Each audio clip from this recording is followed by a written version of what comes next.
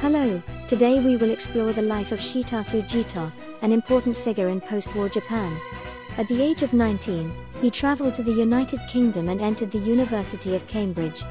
During his seven years studying abroad, he deepened his relationships with friends from the aristocratic class and acquired an impeccable sense of fashion that was highly regarded even by Westerners.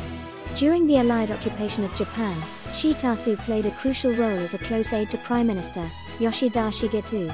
In particular, he served as the first Director General of the Board of Trade and Industry and devoted himself to drafting the post-war constitution of Japan.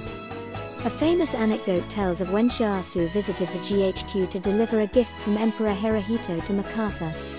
Upon encountering MacArthur's disrespectful attitude, Shirasu scolded him and forced MacArthur to apologize.